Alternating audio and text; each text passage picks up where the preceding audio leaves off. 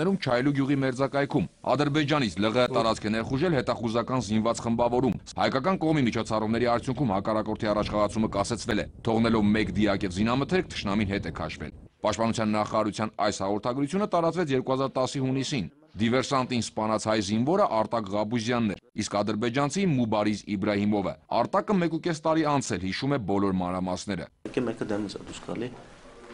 Դից նայում է բան, դիմացը բան զորոտ տեղ է, էլի։ Դից նայում է բան, շրջում է, տանում է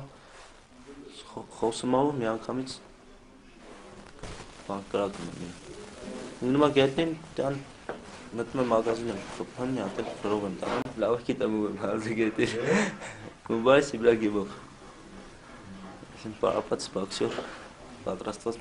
դիվերսանտ այլ։ Շատ գեներալներ ասում էին, որ դու մի բան ես արել, բայց դու էլ չգիտես ինչ ես արել։ Ծառայության գնալուց հոր խորհուրդն էր թերևս հիշել։ ասել եմ տղա ջան գնում ես արինքը ծառայելու մարդավար Շատ ու շատ են, բոլորը նկատում են ու անցնում ես, բոլորը դեն տալիս մատով, որ նայեք, այս են տղայի մայրն է։